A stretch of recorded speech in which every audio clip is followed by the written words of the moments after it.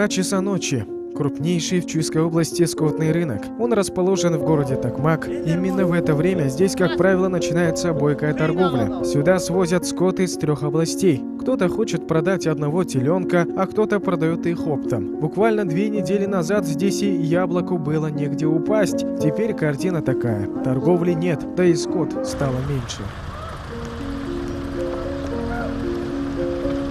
Судьба этих животных решается у входа на рынок. Самых мясистых забирают на мясо, породистых на дальнейшее разведение. Остальные 80% попадают в руки посредникам.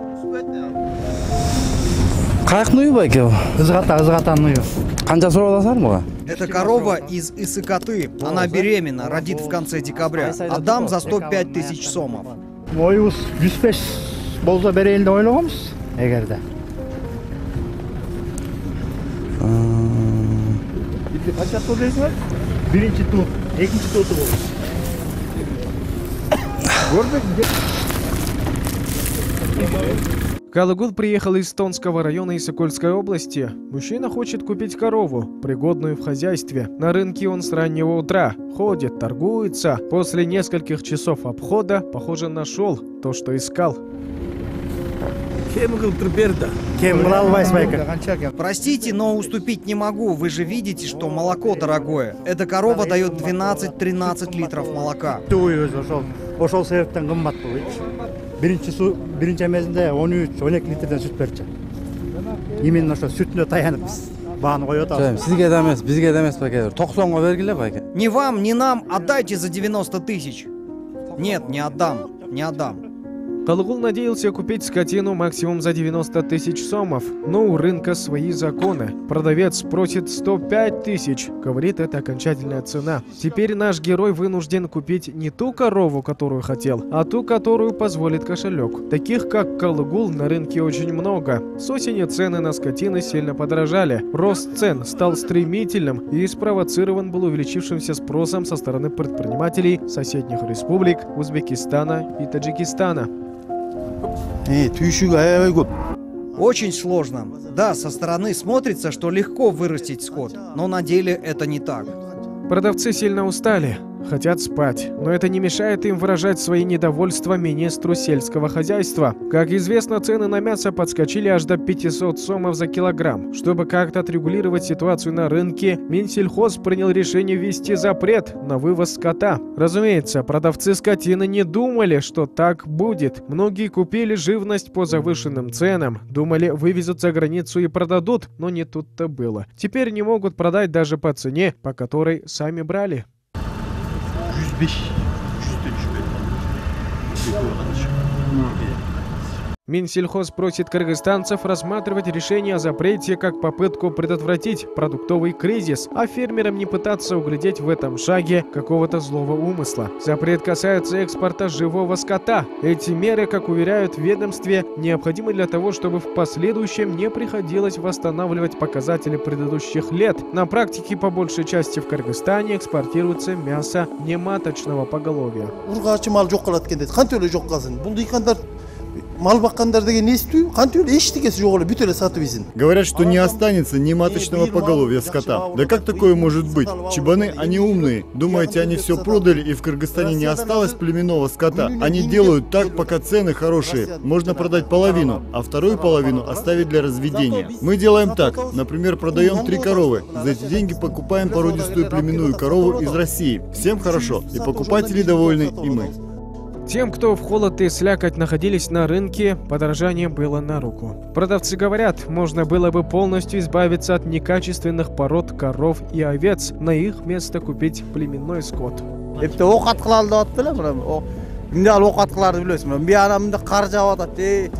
ок Мы здесь уже около двух недель. Думали, хотя бы в этот раз продадим скот подороже. С одной стороны, на улице холодно, снег идет, нам очень тяжело. Я хотел продать эту корову и купить племенную. Для того, чтобы приехать сюда, мы тратим свыше тысячи сомов. Точно такая же сумма нужна для того, чтобы уехать обратно в село. Например, в горах холода доходят до минус 40 градусов. 6 месяцев зима. Так мы пасем скот.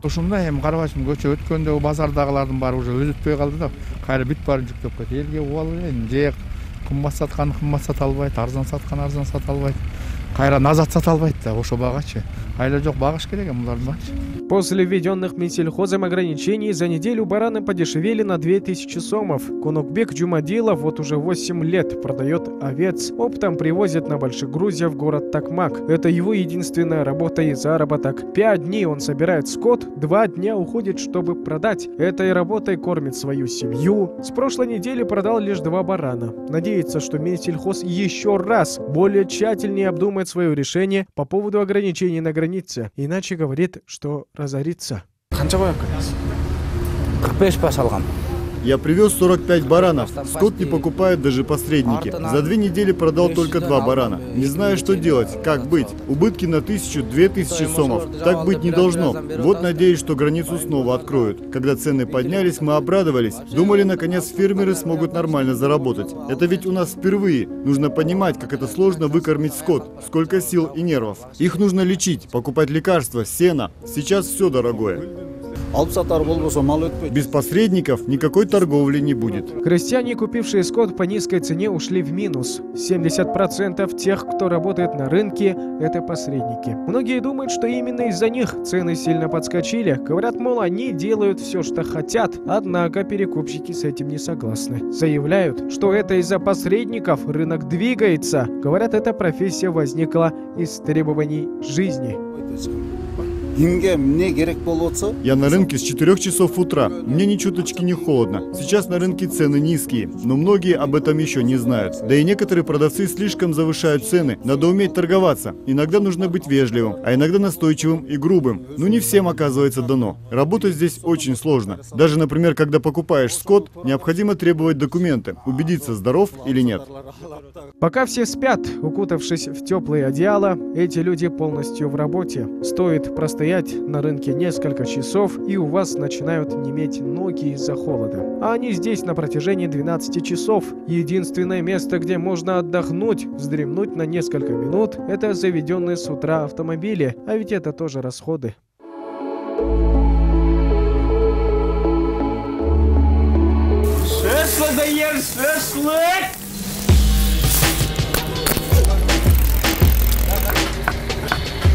Бешикте аябай суук суукта ушундай жерлерге отуруп жылынабыз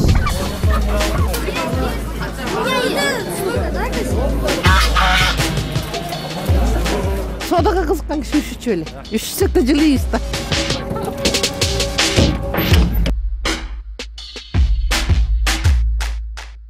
Солнце встало, на улице потихоньку теплеет. Это единственное, что сейчас радует продавцов. На рынке снова начинается торговля. Эке эки миң кошуп бересиң жок эке канча берип атасың э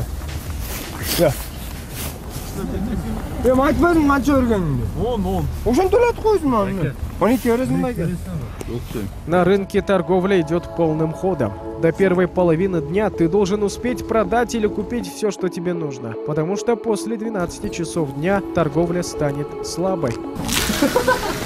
саламатсызбы эже тамактар барбы тамактар бар келе кой эмне тамактар бар шорпо лагман манту лагмандын үч түрү таң атыкча соода кылып Я был на рынке до утра. Теперь со своими родственниками пришли сюда покушать. В холод мы греемся в таких местах. В этот раз никто не смог продать скот оптом. оптомго алтымыш беш мына монтип эле кетип калышат Мирбек Телеков не может продать 15 бычков уже третью неделю. Чтобы доставить их на рынок, необходимо около 4000 сомов. В последнее время у мужчины выросли траты, да и в такой холод согревает лишь горячий чай. отурабыз мурун оптовиктер менен иштечү элек жалаң думгандар менен иштечү элек азыр жок Я раньше работал с дунганами, сейчас их нет. Вот уже третью неделю. Я стою и не могу продать бычков. Обстановка на рынке плачевная. Сейчас сидим, смотрим друг на друга. Надеемся, что хоть кто-то что-то продаст. Многие фермеры брали кредиты на миллионы. Что им сейчас делать? Вся эта ситуация, говорят фермеры, из-за решения министра сельского хозяйства Телека Токтогазиева, который предложил закрыть границу. Фермеры недовольны. Оказалось, в момент, когда мы брали интервью у продавцов, на другой части рынка приехал поговорить с фермерами и сам министр. мен каалабасам дагы бул ачылбайт бул жалпы Это не мое, а решение правительства. Я сейчас не могу много чего сказать. В других странах предоставляют субсидии, но чтобы они увеличивали численность нематочного поголовья скота, скупали из других стран. Когда-то Иран также поступил, распродал все племенные виды скота в арабские страны. Им понадобилось целых 10 лет, чтобы вернуть прежнюю численность.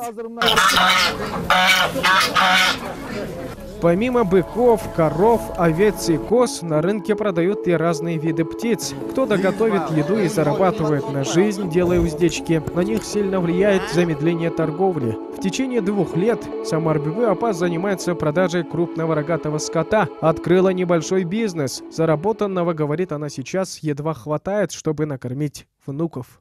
Не мурдагы базардагылардан мында неме болгон жок көп жакшы болгон жок да Торговля уже не как прежде. В день продаю около 20 голов. Мне не холодно, наверное, уже привыкла. Мне и моим внукам денег хватает. содага кызыккан киши üşүчү эле üşүтсөк да жылыйбыз да В полдень торговля на рынке встала. Люди грузят скотину обратно в машины. Нужно ехать домой. Их ждет дальняя дорога. Кто-то едет обратно в Нарын, кто-то на Иссыкуль. Фермеры приедут сюда через неделю.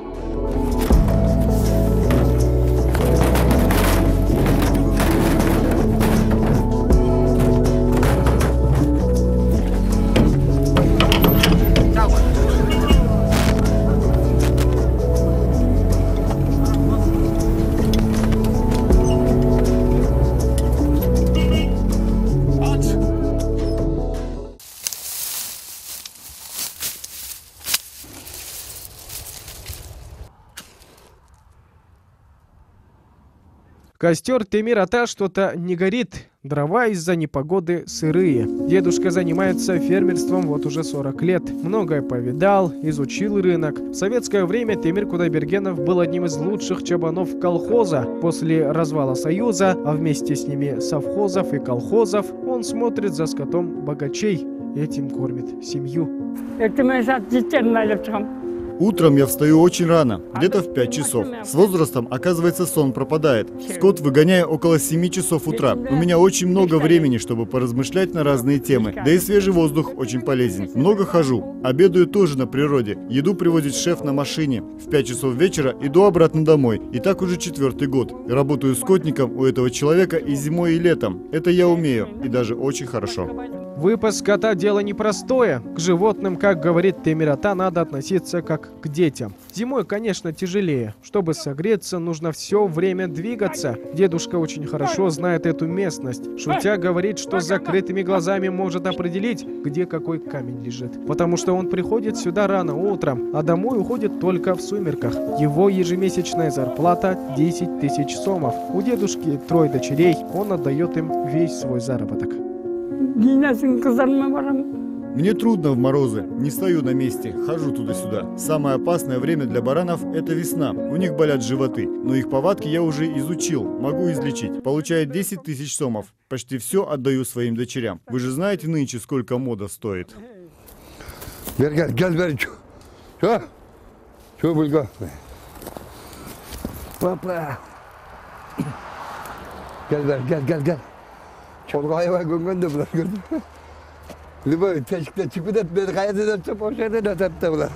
А это Болот Ханата. Пасет коров вот уже 20 лет. С животными разговаривает, как с людьми. Каждый день на своем велосипеде он отправляется на поле. В последнее время ему очень тяжело, потому что корм, сено сильно подорожали.